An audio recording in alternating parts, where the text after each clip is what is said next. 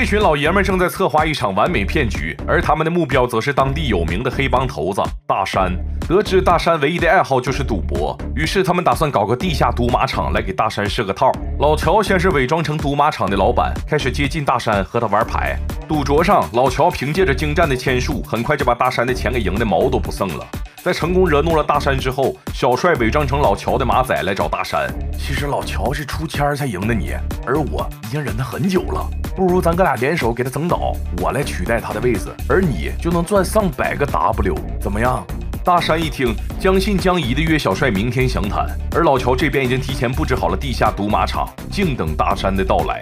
第二天，两个人来到约定的餐厅见面。小帅说，两点整会有人打电话过来告诉你哪匹马会赢，你只需要拿着你的两千块钱去老乔的场子压这匹马赢就完事儿。说完，小帅就走了。果然，没一会儿电话就响了。大山接完电话，就来到了老乔的赌马场。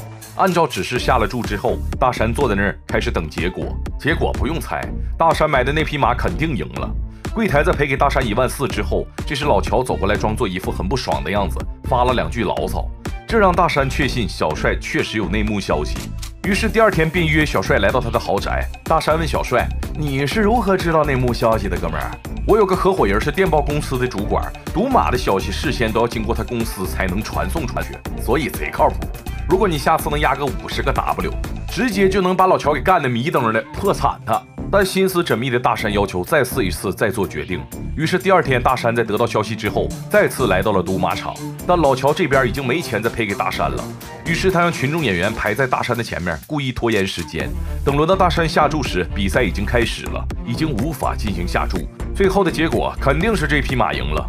这时，大山提出要见一些电报公司的主管，如果情况属实，下次他直接下注五十个 W。